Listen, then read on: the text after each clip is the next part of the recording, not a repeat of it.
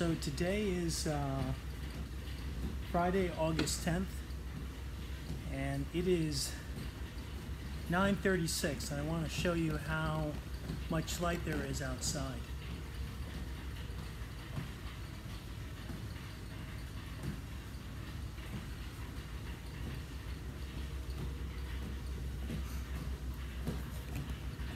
So the Explorer has an exercise room. I'm in there right now. The amount of food that I've been consuming requires that I exercise for a few days. And uh, I'm probably only going to do it for about 25 minutes because I think I should go to bed or at least go to my cabin at 10 so that I can at least be asleep by 11. But it is really hard to sleep when it's sunny outside all the time. So my sense of when to go to bed is really altered.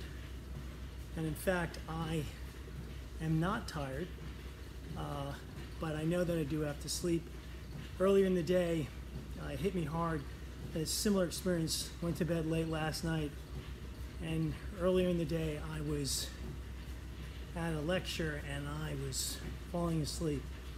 Uh, drank lots of coffee and now trying to work out a little bit in hopes that I can uh, perhaps become fatigued.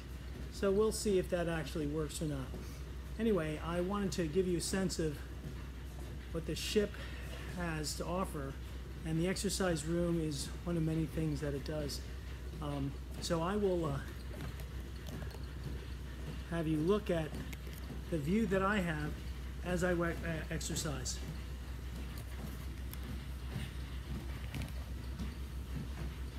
There you go.